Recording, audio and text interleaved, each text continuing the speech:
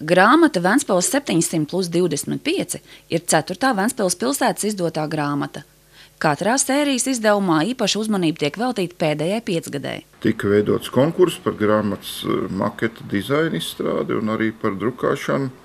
Jāsaka, ka mums izdevās šos iepirkumus veikt ļoti, ļoti labi.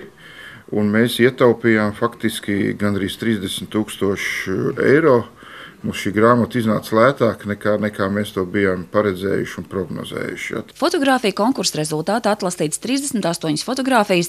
Autoru vārdi ir iemūžināti ar objektīvu, meklējot gan sadzīves notikumus, gan svinīgus brīžus. Bez tam izvēlēts ne tikai profesionāļu bildes. Šo to izdevies labāk notvert tieši amatieriem. Grāmatā ir attēloti apmēram 200 dažādu Ventspils objekti un notikumi. Tā kā ir ļoti bagāts.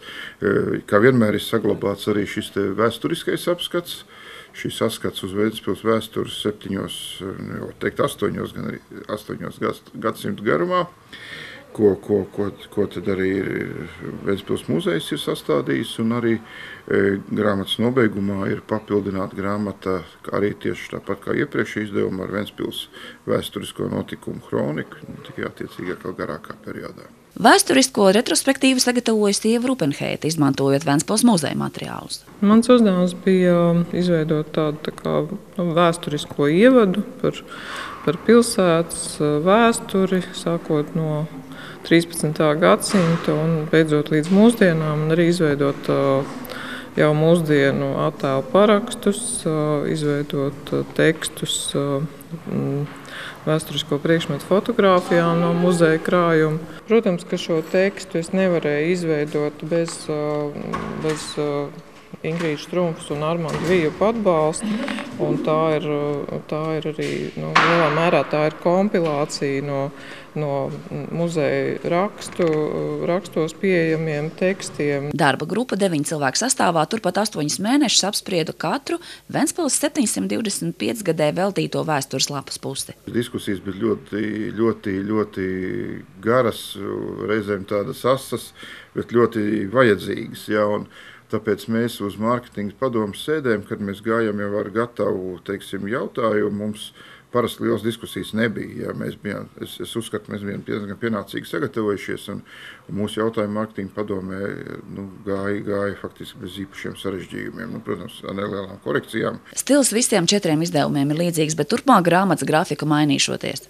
Grāmatas priekšrokā jūs varat redzēt arī, kā izskatās visas iepriekšējās grāmatas. Ja? Un, un, un, un, un, katrai grāmatai ir savs gads. Mēs eh, esam to runājuši šobrīd arī tā, ka varbūt šis četru grāmatu cikls ir noslēdzošais. Un ar nākošo grāmatu mēs sākam nu, jaunu ciklu, kas varbūt būs dizainiski nedaudz atšķirīgs. Ventspils pilsētas jubilejas grāmatās savus stāstus izstāsta arī pilsētā zināmi cilvēki. Neparasti tas, ka šai grāmatai šoreiz ir nodaļas, uh -huh. kur kā, nu, mēģināja varbūt drusciņā nu, padarīt viņu ērtāku lasītājiem vai skatītājiem. Daudz cilvēku, daudz, daudz smaidīgu seju. Bērni grāmata ir faktiski taisīta tā, ka mēs esam visi notikumus eh, veidojuši astoņās nodaļās.